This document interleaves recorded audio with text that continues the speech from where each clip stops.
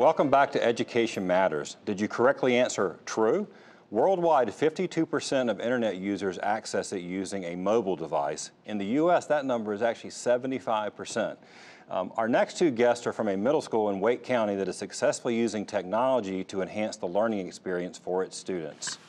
So we have uh, we have the principal of uh, Pine Hollow Middle School, Andrew Livingood. We appreciate you being here. And Harden Barker, who is a math teacher, also at Pine Hollow Middle. Thanks for being here today. We appreciate it. Thank you. So, um, so you just heard from the, some of the folks at the state level about what their goals are. Um, and I know you and I talked, uh, Andrew, last week as we were planning the show you're doing a lot of these things. Tell us about what's going on at Pine Hollow. We are. It's exciting. Um, we have a lot of technology in the classroom. I can walk down the hall every day. I stick my head in any classroom. Kids are uh, spread out, uh, working either individually or in small groups, whether it's on an iPad or a, a laptop, what have you. But at Pine Hollow, um, it's not an extra add-on. Uh, technology is something that we've come to depend on, and it's essential to the learning process at our school. Right now, you're you're just a fairly new school, right? First, you've been in, around for a year, so it was Correct. obviously it was built with some connectivity, but really all, all the schools, certainly around in, in most of the state, have um, sort of the wireless access now in all the classrooms. So you don't have right. any sort of uh, barriers in terms of that kind of technology. Support. No, we do not, and that's huge because if you don't have connectivity, it's very difficult. Um, to be tied down to a cord, something that's got to plug into a wall. So we are completely uh, wireless. All right, well, Hard, let me go to you. You're a math teacher. Um, um, my daughter loves math. I was challenged in math, but let me ask you, so is, um, is technology really uh, primarily used in, uh, in a school like Palo in, in math and science, or is it uh, uh sort of uh, across the board? How, you, how have you seen it as, as a math teacher yourself and then uh, with your, your colleagues?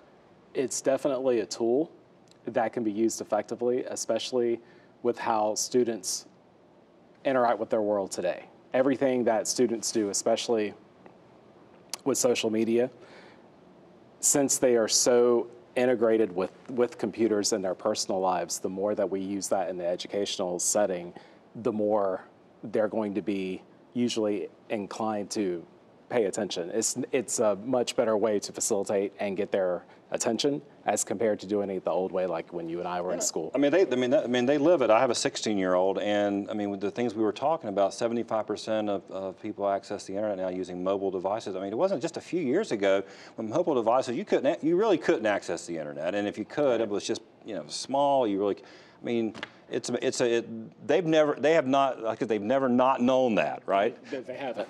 and so one of the things I guess as a teacher, you need to be uh, meet them where they are. Mm-hmm.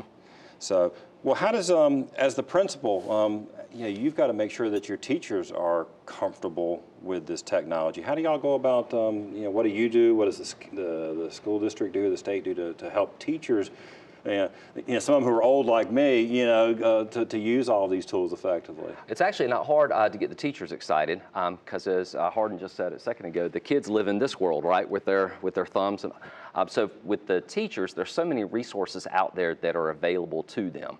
Um, especially your, your, younger teachers that have recently come through a College of Education teacher program.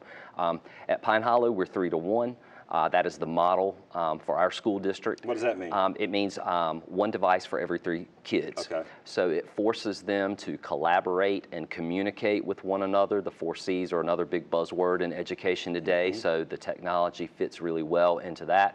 The challenge for me as a principal a lot of times is to educate my parents as to not literally my parents, but my kids, sure. um, Pine Hollow parents, as to uh, what education looks like today. Because as you said a second ago, it's changed over the years. And so I've got some teachers with flipped classrooms where instead of standing up in front of the students and lecturing, uh, the teacher uh, delivers uh, the direct instruction, the lecture via video that the kids watch at home, and then they come in the next day and the teacher can work with uh, students who experience difficulty in one particular area, um, and that's new for parents as well. Um, many of our parents are used to coming in and listening to a lecture and then going home and doing the, the homework, so trying to um, educate the parents as to how things have changed is certainly a principal's challenge today. Right. Well, Harden, as, as a teacher, I mean, you've obviously, you, are using it. I mean, I, would love to hear an example for how, how do you use technology? Say that something that's different than, than you know, maybe what you would have done uh, several years ago before these things were available. Something that's really cool is the use of manipulatives in the classroom, especially in math. The more concrete you make it, the better that the kids are going to learn it, especially students who math isn't their forte, like myself when I was growing up. Um, you have kits, physical objects that we have at Pine Hollow that we that the kids can use. Um, they also have virtual manipulatives that you can connect a tablet, iPad, for example, to our classroom So when you're talking, you're you're literally talking about something to hold in your hand to move. You're not talking about something virtual. This like, is, well, yeah, we like we have fraction tiles that let's say you Okay. have from one sixteenth through one half. You can have the kids that are using that, and then that matches it on the television. Okay, so you can do that with on a TV and a bigger screen, so that they can follow along with you. They can also drag and drop with their fingers using that tool themselves. Sometimes just using it in a concrete way physically doesn't work, but if they can drag along the uh, tablet or device, then that makes it click for them. So the more ways that we can find to get the kids for them to understand it, the better off we are. So it's, it's, I mean, it's a tool. I mean, it's not like something that you can just turn on, well, we've got computers now, we've got three to one, we're done. I mean, it's really, I mean, you're, you're a trained teacher. That's what you do. You, Right. it's another tool in your toolbox. Exactly. It, it's not the end all be all, but it's certainly a vehicle that helps you drive instruction. And for certain students, it's the best way. And for other students, it is a way. So I didn't ask you about this when we set up the show, but uh, uh, did, have you experimented with bringing your own device? You know, a lot of the kids, you know, now I've heard, you know, a lot of schools will take away the iPhones and things from kids, but actually other schools are experimenting with, well, look, if you got them, we can use them, so actually it actually extends some of the resources. I mean, our classrooms are kind of strapped anyway. Yep. Uh, we will be going through, our district offers uh, training to schools that wish to become BYOD schools. Pine Hollow will be going through that this spring. We've kind of been what I refer to as BYOD light recently because our primary feeder elementary schools are all BYOD.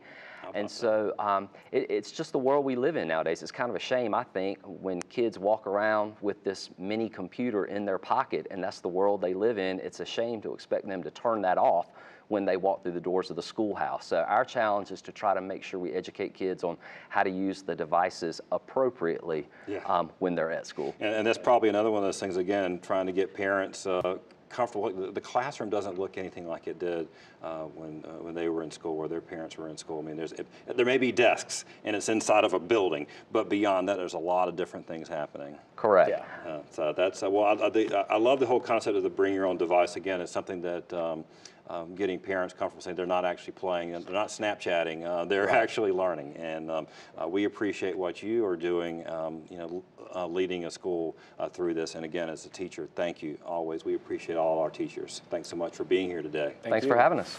All right, after the break, this week's Leadership Spotlight.